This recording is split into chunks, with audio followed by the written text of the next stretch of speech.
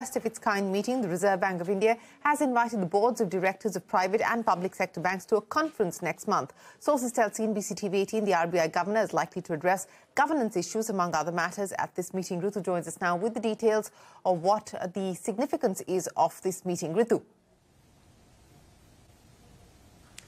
Well, thanks for that. You know, it's very rare that you see entire boards of banks gathered together under one roof, and rarer still to have the RBI governor address them all directly. And so it's a significant development because we've been given to understand from sources that the Reserve Bank of India has invited boards of directors of both public and private sector banks for two in-person uh, day-long meetings, which are scheduled to be held uh, first on the 22nd of May in New Delhi and on the 29th of May in Mumbai.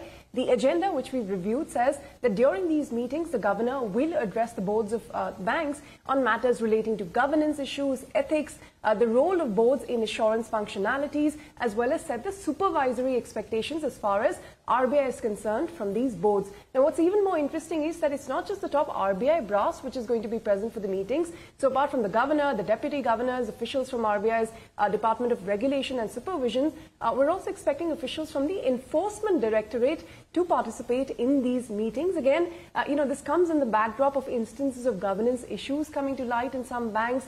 Uh, the finance minister has also been giving repeated calls for improving governance in boards.